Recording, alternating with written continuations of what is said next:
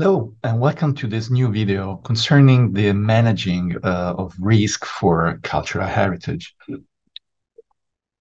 We will be looking at a short introduction, then at what is the current uh, job market for cultural heritage. We will look at which are the skills and competences required for the cultural heritage manager which are then the challenges and barriers that prevent the correct and appropriate risk management for cultural heritage. And then at the end, we will draw some of the main conclusions.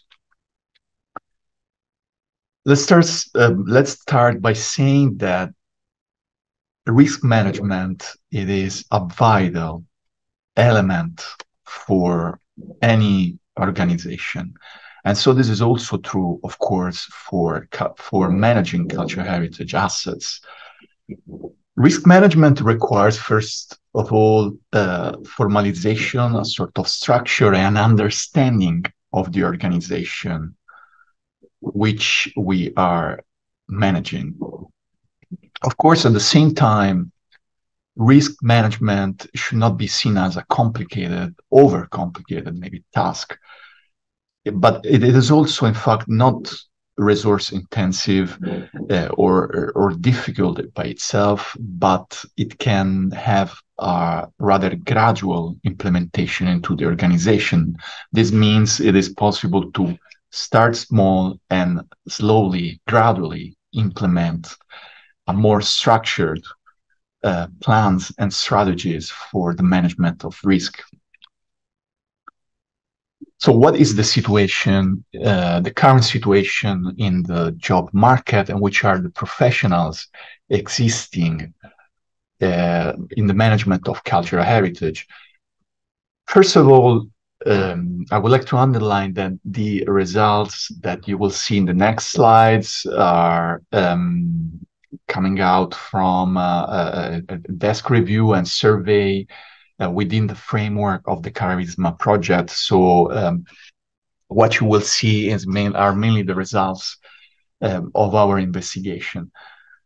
Concerning the uh, cultural heritage job market, the um, we we have definitely uh, highlighted what what is the complexity and uh, what are the multi-layered characteristics of of risk management and what that that is easily um, understandable as we know that uh, in, in, cultural heritage um, there are involved many different professional figures. So we have engineers architects technicians but also specialized workers um, conservation experts and then all the planners the authorities the rescue services as well as universities and academics. So we can see that definitely we are in a field which is uh, multidisciplinary.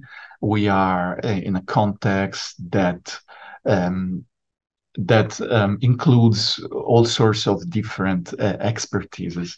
So um, we can make three main observations from our analysis. So uh, the of course, the technical professionals, meaning the engineers, the architects, are the ones that are more involved in the risk management, but especially in uh, uh, in the definition of of the risks and in the design of actions uh, for for mitigating the risk as well as in the mon- monitoring the effectiveness of these actions.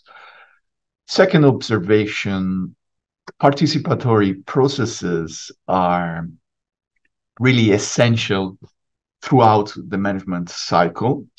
So it is always important to bring on board um, all the different stakeholders in a way to consider in your uh, risk management plan all different aspects and perspectives to risk management. And especially it is important um, to include, uh, to have a participatory process in planning of strategies. Finally, the last observation, we talk about the multi-layered um, nature of, of the, this uh, field. Um, of course, we have uh, sometimes an overlapping of, of expertise. Um, so we can have, for example, internal and external experts belonging to the same organization, to different sorry organizations that might have um, same uh, same skills, and maybe different responsibilities, and of course this leads to a very uh, important point so plurality, of course, is always beneficial uh, as it, it affects in a positive way the management process. But at the same time, of course, conflicting positions may arise. And from this point, we can start understanding already what is the importance of the cultural heritage uh, risk manager so again, let's look at the results uh, of the Charisma project uh, in understanding which are the skills and competences involved. First of all, during the survey, in, in the survey that we carried out, we um, the participants um, represented different cultural heritage assets categories. As you can see from this slide, 86% um, of the participants um, represented movable and movable cultural heritage assets and 14% natural and underwater assets. In the second slide, instead, we can see which are the um, sectors involved uh, in the survey.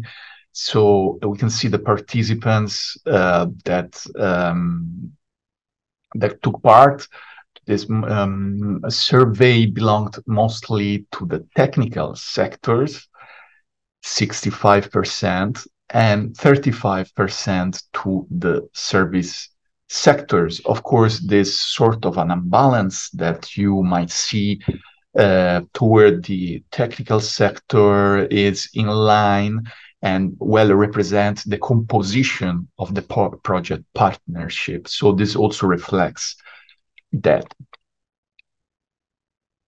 So let's come to the needed and required skills and competences for the cultural heritage manager. So in this slide, you see which skills are felt as the most important and the most needed from the different respond uh, respondent to the to the survey. And it is important to highlight the fact that 46% um, of the skills refer to risk management. So vulnerability assessment, hazard projection, data mining, impact assessment are all are all part of the risk management. And uh, if we want to underline uh, one of the most important uh, factors here is data mining. So data mining, of course, it's central to different domains uh, in uh, nowadays. So also this is true for cultural heritage and cultural heritage risk management. And we know for fact that the lack of information is the single greatest problem we have in cultural heritage protection. And this prevents a proper risk evaluation and therefore an adequate prioritization of resource investment. So we just don't know all information. We don't have all information concerning the cultural heritage stock, which is, of course, very vast and therefore we cannot take appropriate action. Let's move on to the challenges and barriers. So we can see from this slide that um, over 50% of the respondents to our survey um, underlined and highlighted the fact that mainly the lack of funds and the lack of knowledge, uh, but also the lack of awareness, which is uh, something uh, we can definitely uh, work more on, is uh, and improve. Is um, is uh, are, are are the main aspects, are the main challenges and barriers toward a, um, a, a sustainable and a compatible and a feasible risk uh, management for, for cultural heritage. So concluding in this brief video, we looked at the job market for uh, the existing professional figures in, in, the risk management for cultural heritage. We looked at the skills required for the cultural heritage risk manager.